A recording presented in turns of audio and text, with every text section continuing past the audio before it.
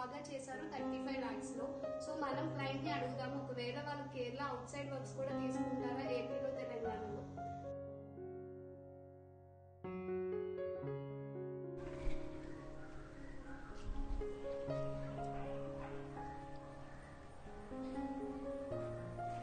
Hello guys so ఈరోజు నేను ఈ హోమ్ టూర్లో ఈ బిల్డింగ్ ఎలా కట్టారు ఏమేం మెటీరియల్స్ యూస్ చేశారు? బేసిక్గా ఇది వచ్చేసి గ్రీన్ బిల్డింగ్ అనమాట అంటే ఈ బిల్డింగ్కి లాటరైట్ యూస్ చేయకుండా మొత్తం ఏసీ బ్లాక్స్ యూస్ చేశారు. సో దీనివల్ల మనకి ఏంటంటే time saving cost saving material కూడా సేవ్ చేసి ఈ బిల్డింగ్ కట్టారు. సో మనకి చాలా ఇది కాస్ట్ ఎఫెక్టివ్ అనమాట మొత్తం బడ్జెట్ వచ్చి థర్టీ ఫైవ్ ల్యాక్స్లో ఈ బిల్డింగ్ కంప్లీట్ చేశాము. సో ఇప్పుడు మనం క్లయింట్ని కలుస్తున్నాము. క్లయింట్ వచ్చేసి ఒక సివిల్ ఇంజనీర్ క్లయింట్ వైఫ్ కూడా సివిల్ ఇంజనీరే సో వాళ్ళిద్దరూ కలిపి ఇల్లు ప్లాన్ చేశారు. మేము ఆర్కిటెక్ట్స్ కింద బయట ఎక్స్టీరియర్ ఫసాడ్ డిజైన్ చేసాము సో ఇద్దరు కాంబినేషన్లో ఇల్లు ఎలా ఉందో మీరు చూసి కింద కామెంట్ చేయండి. ఇప్పుడైతే క్లయింట్తో వెళ్ళి ఇంకా డీటెయిల్డ్గా మాట్లాడదాము. పదండి.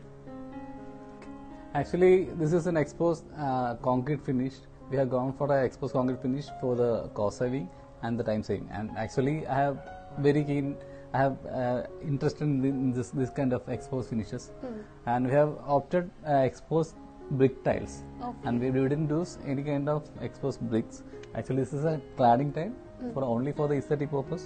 అంతా ఎక్స్పోజ్ కాంక్రీట్ ఫినిష్ ఇచ్చారు మీరు పైన చూస్తే ఇక్కడంతా టైల్స్ అన్నమాట బ్రిక్ టైల్స్ యూస్ చేశారు ఎక్స్టీరియర్ వాల్కి ఇక్కడ సీటింగ్కి గ్రానైట్ స్లాబ్ సో ఇప్పుడు మనం ఇంటి లోపలికి వెళ్దాము ఫస్ట్ వచ్చేసి లివింగ్ రూమ్ వస్తుంది. సో ఇల్లు ఎలా ఉందో మీకు చూపిస్తాను. పదండి.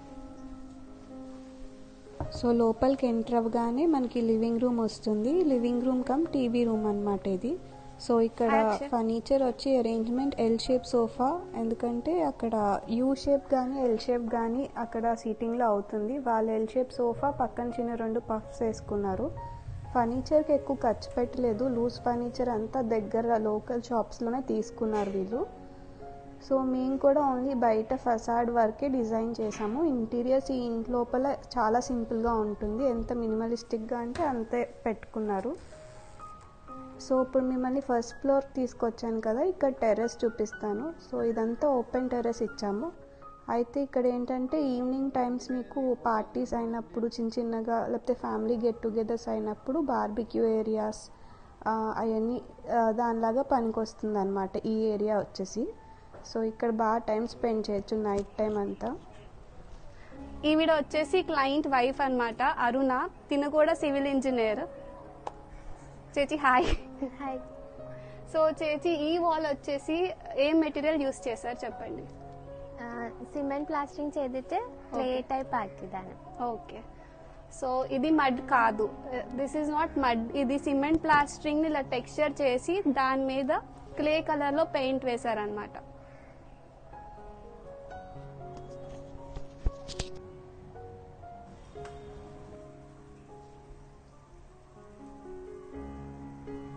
సో ఇప్పుడు మీకు టెర్రస్ చూపించాను కదా అయితే ఇప్పుడు మనకి ఫస్ట్ ఫ్లోర్లో ఇంకా ఏం రూమ్స్ ఉన్నాయో చూపిస్తున్నాను. సో ఇప్పుడు మనం వెళ్ళే రూమ్ వచ్చి గెస్ట్ రూమ్ ఇప్పుడు ఈ బయట ఉన్న స్పేస్ అంతా ఓపెన్ స్పేస్ అనమాట జస్ట్ వచ్చి కూర్చోవడానికి పైన ఫ్యామిలీ అంతా కలిపి. అయితే ఈ గెస్ట్ రూమ్ వచ్చేసి చాలా సింపుల్ చెప్పినట్టే ఫర్నిచర్ అంతా వాళ్ళు ఇది వరకు ఇంట్లో ఉన్నది యూస్ చేసుకున్నారు ప్లస్ మినిమల్ అనమాట సో ఈ విండోస్ ఇలా open area ventilation cross ventilation ఇచ్చేలాగా చూసాము. ఒక వార్డ్రోబ్ ఒక బెడ్ రెండు సైడ్ టేబుల్స్. అయితే బాత్రూమ్ మాత్రం అంతా మొత్తం గ్రే కాంబినేషన్ గ్రే టోన్స్ వెళ్ళి మొత్తం శానిటరీ అంతా వైట్ కలర్ ఇచ్చాం. సో దీంట్లో ఒక బాత్ టబ్ ఒక డబ్ల్యూసి ఇంకో ఒక వాష్ బేసిన్ అనమాట సింపుల్ రూమ్. ఫస్ట్ ఫ్లోర్లోనే ఇంకొక రూమ్ వచ్చేసి ఇలా యూటిలిటీ ఏరియా కింద ఇచ్చాము. అయితే ప్రస్తుతం వీళ్ళు ఇంట్లో త్రీ మెంబర్సే కాబట్టి వీళ్ళకి బెడ్రూమ్స్ త్రీ సరిపోతాయి.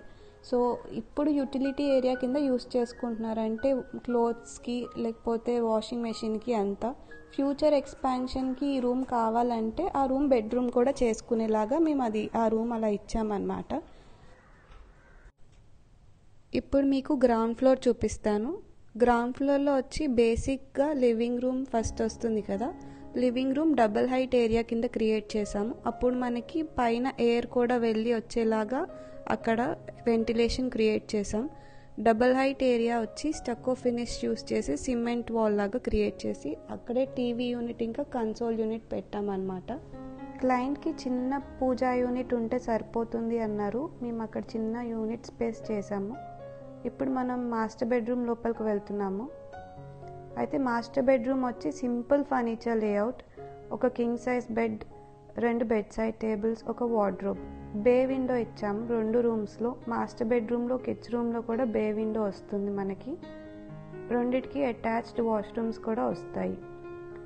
అయితే ఇప్పుడు మనం మాస్టర్ బెడ్రూమ్ నుంచి డైనింగ్ నుంచి వెళ్ళాలి కిడ్స్ బెడ్రూమ్లోకి కిడ్స్ బెడ్రూమ్లో కూడా సింపుల్ ఫర్నిచర్ లేఅవుట్తో క్వీన్ సైజ్ బెడ్ కాట్ రెండు బెడ్ సైడ్ టేబుల్స్ ఒక వార్డ్రోబ్ ఇక్కడ కూడా బే విండో వస్తుంది. బే విండో అంటే అక్కడ మనం జనరల్గా కూర్చోవచ్చు విండో ఓపెన్ చేసుకుని స్టడీ ఏరియా లాగా కూడా అక్కడ బుక్ చదువుకోవచ్చు అలా ఏమైనా యూస్ చేసుకోవచ్చు. సో ఇప్పుడు కిచెన్ వచ్చేటప్పటికి ఈ ఇంట్లో డ్రై కిచెన్ ఇంకా వెట్ కిచెన్ కాన్సెప్ట్ యూస్ చేసామండి సో డ్రై కిచెన్లో వచ్చేటప్పటికి బేసిక్గా కుకింగ్కి ఇంకా వెజిటేబుల్స్ కట్టింగ్ బ్రేక్ఫాస్ట్ తినడానికి బ్రేక్ఫాస్ట్ కౌంటర్ యూటెన్సిల్ స్టోరేజ్ ఇంకా మసాలాస్ ఇవన్నీ పెట్టుకోవడానికి స్టోరేజ్ బేసిక్గా రోజు యూస్ చేసుకునేవి ఐటమ్స్ అంతా డ్రై కిచెన్లోకి వస్తాయి. వెట్ కిచెన్లో స్టోరేజ్ ఇంకా వాషింగ్ ఏరియా లాగా క్రియేట్ చేసాము అయితే ఈ కిచెన్ వచ్చేటప్పటికి అంతా పియూ ఫినిష్ గ్లాసీ ఫినిష్ ఇచ్చాము. కలర్ వచ్చేసి క్లయింటే సెలెక్ట్ చేసుకున్నారు. ఆ పర్టికులర్ కలర్ కావాలని చెప్పి. సో ఇక్కడ మేము క్రియేట్ చేసిన space attach kitchen and dining అనమాట సో ఈ జోన్ అంతా ఒకటే అవుతుంది. అక్కడ చిన్న పూజా యూనిట్ లాగా ఇచ్చాము. అండ్ డైనింగ్ నుంచి ఎక్స్టీరియర్ స్పేస్ లాగా కనెక్ట్ అవుతుంది. ఆ డోర్ మొత్తం ఓపెన్ చేసుకోవచ్చు. ఫ్రెంచ్ డోర్ అంటారు దాన్ని.